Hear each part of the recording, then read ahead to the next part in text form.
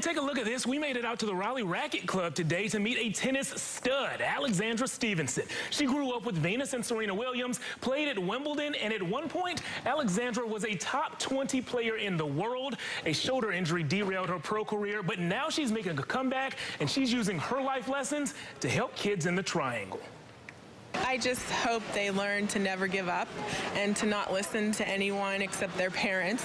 But when somebody tells you you can't do something, that's just because they think you can't. Doesn't mean that you can't. You can always do whatever you put your mind to. And I hope that every kid has big dreams because I have, and I'm still following mine. Hmm, very nice. If you know someone interested in joining these tennis clinics, feel free to contact the Raleigh Racquet Club at 919 876 0565. And guys, that's just the beginning of Alexandra's story.